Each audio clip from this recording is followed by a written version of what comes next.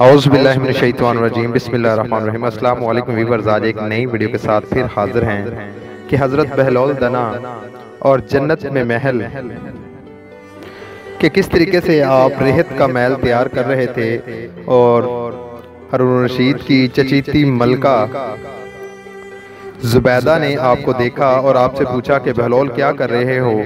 تو آپ نے بتایا کہ میں جنت میں محل تیار کر رہا ہوں تو وہ آپ سے خرید لیا پھر رات کو خواب میں کیا دیکھتی ہیں اور بادشاہ سے کیا بات ہوتی ہے؟ اور جب بادشاہ ارون رشید محل خریدنے لگتا ہے تو بہلول کیا جواب دیتا ہے؟ ویڈیو کو شروع سے لے کر آخر تک مکمل واچ کریں تاکہ آپ کو سارے قصے کی یہ سمجھ آ جائے، لیکن ایک گزارش ہے ان ویور سے جو چینل پر نئے ہیں کہ ویڈیو کے نیچے جو لال رنگ کا بٹن ہے، وہاں سے چینل کو سبسکرائب کر لیں۔ اور ساتھ ہی ساتھ پہلا آئیکن پر کلک کر لیں تاکہ ایسی لیٹس ویڈیو آپ تک بڑی آسانی کے ساتھ پہنچتی رہیں۔ ویڈیو پسند آئے لائک کریں اور زیادہ سے زیادہ شیئر کریں تاکہ معلومات دوسرے لوگوں تک بھی پہنچ سکیں، کیونکہ اچھی بات کو پھیلانا بھی صدقہ جاریہ ہوتا ہے۔ حیرون کی چچیتی ملکہ زبیدہ اپنے شاندار محل کی کھڑکی میں سے باہر کا نظارہ کر رہی تھی۔ اس نے بہلول کو نہر کے کنارے بیٹھے ہوئے دیکھا وہ بچوں کی طرح ریت سے کھیل رہا تھا۔ کبھی وہ اسے چھوٹی چھوٹی ڈھیریاں بناتا کبھی ان سے ان کی کیاریوں کی شکل بنا دیتا۔ کبھی ان کے گھر اور کھڑکیوں اور دروازے بناتا۔ زبیدہ کچھ دیر اس کا یہ کھیل دلچسپی سے دیکھتی رہی۔ پھر وہ اپنی چند کنیزوں کو ساتھ باہر لے آئی اور بہلول کے پاس آن کھڑی ہوئی اور اس کی طرف متوجہ کیا بہلول یہ کیا کر رہے ہو؟ بہلول نے سر اٹھا کر دیکھا۔ یہ میں جنت کا محل بنا رہا ہوں۔ اتنا کہہ کہ وہ پھر کام میں مصروف ہو گیا۔ اچھا زبیدہ نے مصنوعیت حیرت سے کہا، پھر کچھ سوچ کر بولی، بہلول، تم بحشت کے یہ محل بیچتے بھی ہو۔ ہاں بیچتا ہوں۔ بہلول نے جواب دیا، کتنے دینار میں؟ زبیدہ نے مرحب پوچھا صرف سو دنار میں بہلول نے بتایا۔ زبیدہ نے سوچا کہ اس طرح مزاق ہی مزاق میں بہلول کی مدد بھی ہو جائے گی۔ اس نے کنیزوں کو حکم دیا کہ بہلول کو سو دنار ادا کیے جائیں۔ اور بہلول سے بولی بہلول میں بھی ایک بحشت خریدنا چاہتی ہوں۔ کون سی بہلول نے استخادہ کیا؟ زبیدہ نے یوں ہی ریت کی ایک کیاری کی جانب اشارہ کر دیا، مجھے وہ بحشت چاہیے۔ بہلول نے رقم لی، لے لی اور بولا، تم نے قیمت ادا کر دی، ٹھہرو، میں اس کا قبلہ تمہارے نام لکھ دیتا ہوں۔ زبیدہ ہنسی، میں اس وقت جلدی میں ہوں، بہلول نے اس کا قبلہ لکھ کر محل میں لے آنا۔ وہ اتنا کہہ کر آگے بڑھ گئی۔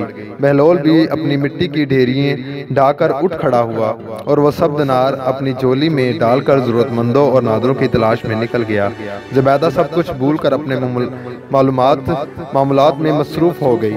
رات اپنے بستر پر گئی، آنکھ لگ گئی۔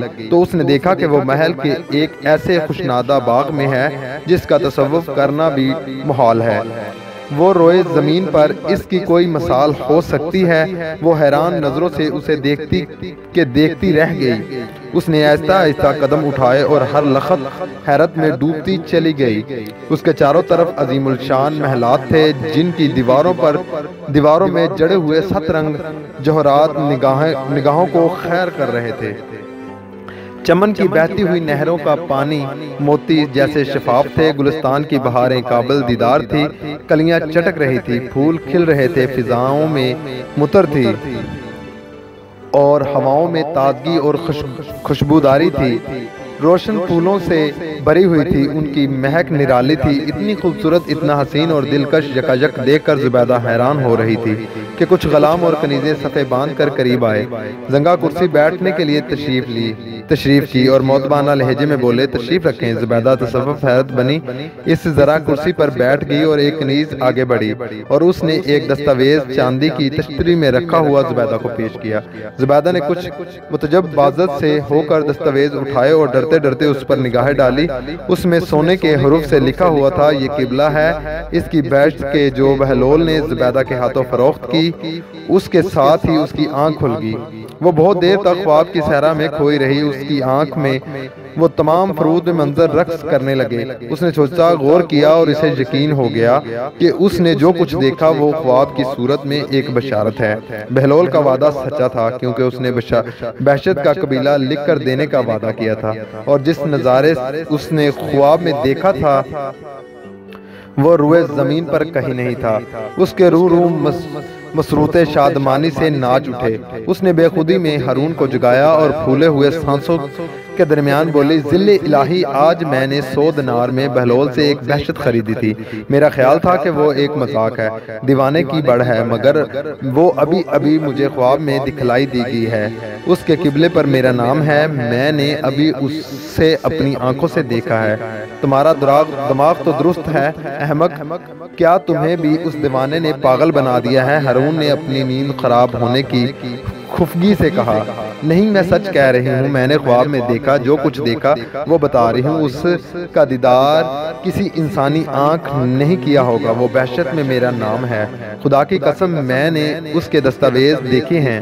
زبیدہ نے جوش سے بتایا او ہو یہ وقت ایسے الٹے سیدھے خواب سنانے کا نہیں خموش ہو جاؤ، میری نیند خراب نہ کرو۔